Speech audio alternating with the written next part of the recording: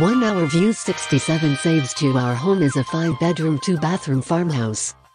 What I love about this home grew up here but Raon for moving his mom passed away May 2018, owner's wife, and we would like to move on neighborhood home value 1 year prediction median home. Comparison $81,300.